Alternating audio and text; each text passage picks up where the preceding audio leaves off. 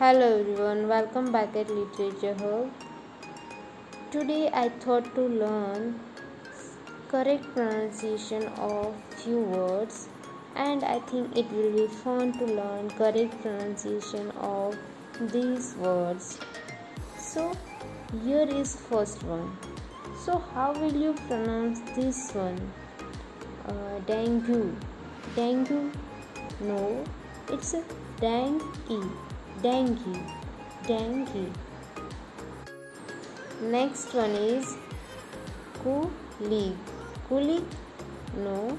It's a colleague colleague colleague next is wednesday.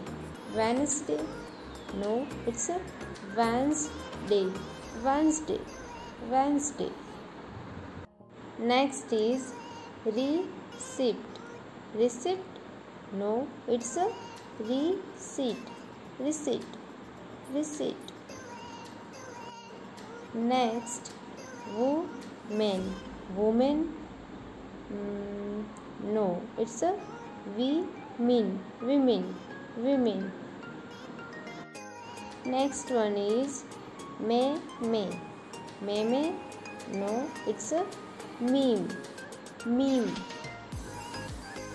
Next, baul. Baul? No, it's a ball. Ball. So that's it for today, and thank you, thank you for being here. And don't forget to subscribe my channel.